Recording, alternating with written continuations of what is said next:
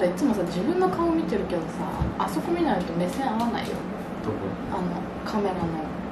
あそっか。そうじゃないと視聴者さんと目合わない。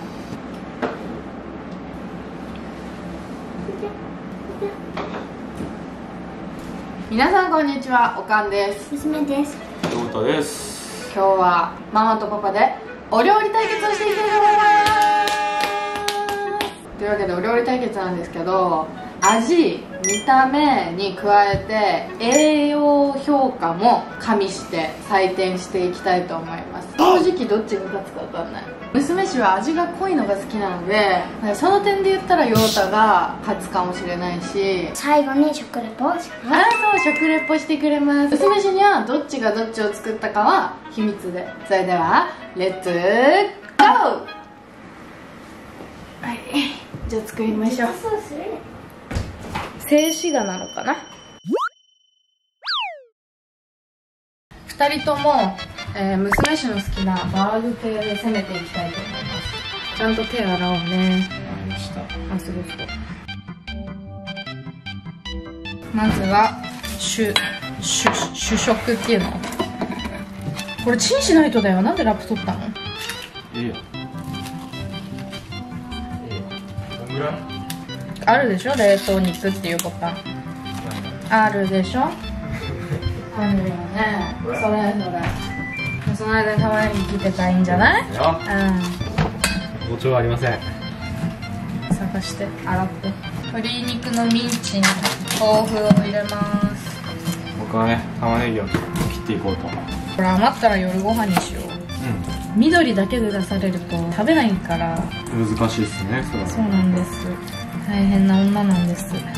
料理酒入れます。生姜入れます。塩コショウします。片栗粉入れます。混ぜます。え？何を？ええラップに包んでからぶち込むんだよ。そのまま冷蔵庫にぶち込まないよ。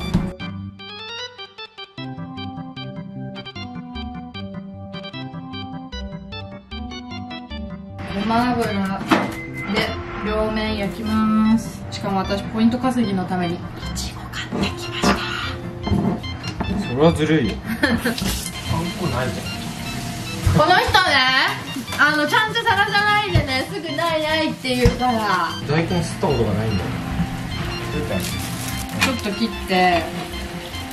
ちょっと切んのこれ。うん、全部使わないよ。皮むかないといけない皮むくの沸騰したんでほうれん。草は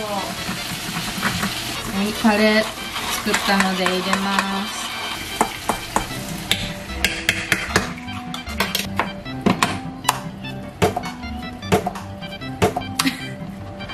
雑かよ豆腐つくね完成です。なめことえのきのきのこ味噌汁にします。なんかきのこは体にいいってよく聞くから。どうもお願いします。ちょ置いといて。無理でしょあごめんごめん。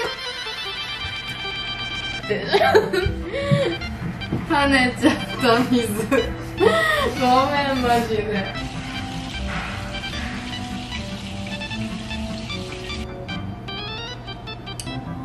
まずい。またまた普通に。終わり終わり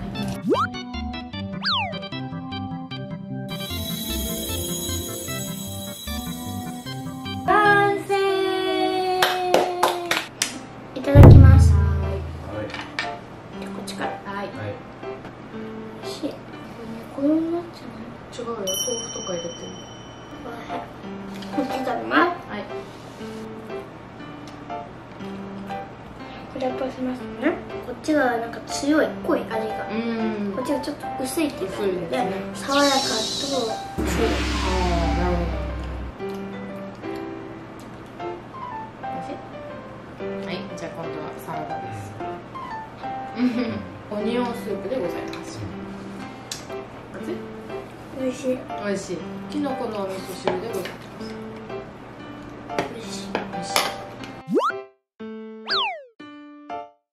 他は。せーのあれええ。A ってどっちですか？で顔が美味しかった。そしたらこの味の買ったのはママでイエーイ。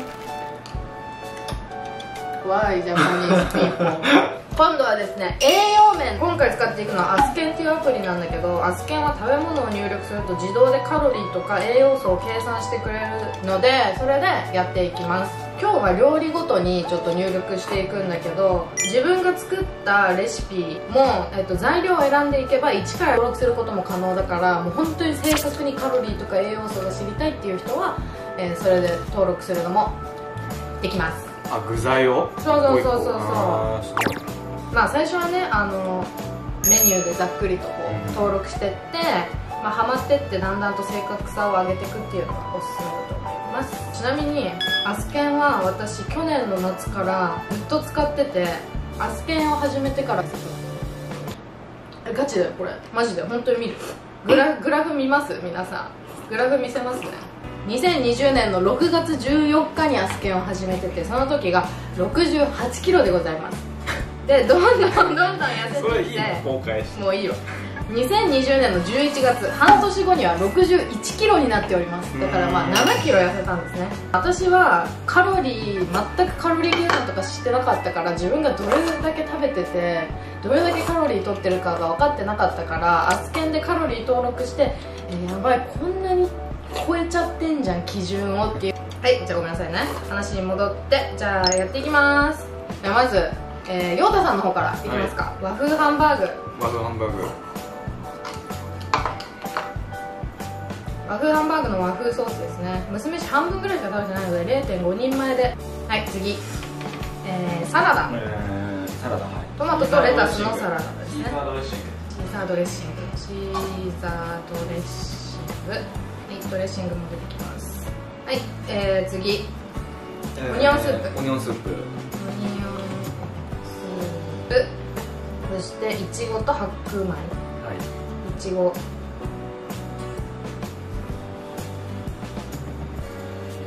そして、えー、ご飯ですね。小盛り。であなたのそのセット。カロリーは580キロカロリーです全部食べて。だからちょうどいいぐらいなんじゃないかなと思います栄養素グラフを見てみます。おこんな感じです。エネルギー適正タンパク質不足脂質過剰炭水化物不足カルシウム不足鉄不足ビタミン A 不足ビタミン E 適正ビタミン B1 不足ビタミン B2 不足ビタミン C 適正食物繊維不足飽和脂肪酸過剰塩分過剰。一見ねすごい体に良さそうなご飯でもこうやって見るとすごい気づきがあるよね。はいじゃあ次登録していきましょう、お願いしますちなみにこれ画像解析機能っていうのがあって。写真で？そうそうそう。簡単に続けられると思います。食べ物を取るだけで記録できるんだね。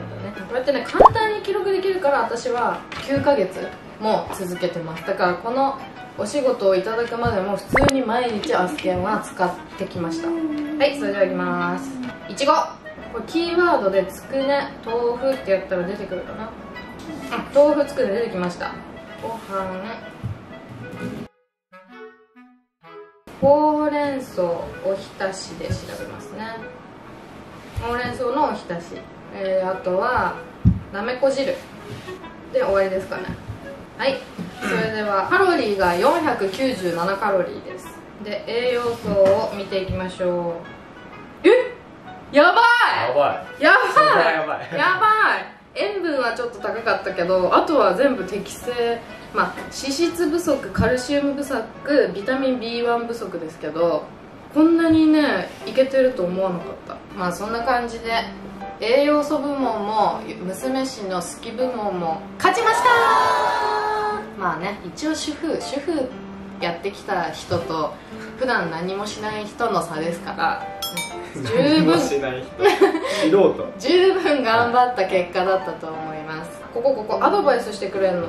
ほらミキさんのアドバイスをお伝えします。たくさん食べましたね。とかってこれとこれ全部入力したからそうなっちゃってるけど炭水化物が多いですよとかいろいろ教えてくれたりしてまあ私が私的にこのアプリを使う一番のメリットは自分の食べてるものを把握できて自然と自分の食を気をつけるようになるし体重とかを毎日測っていくことで56ヶ月でこんだけ痩せられたからまあ、ダイエットにもすごいいいし自分の体調管理とかにもすごいいいんじゃないかなと思います。めちゃくちゃ簡単にできるしね検索したら大抵のものはもう出てくるんでそれ押すだけなんですごい簡単でおすすめです。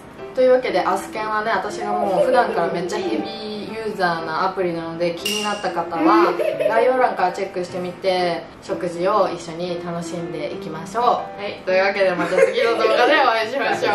バイバーイ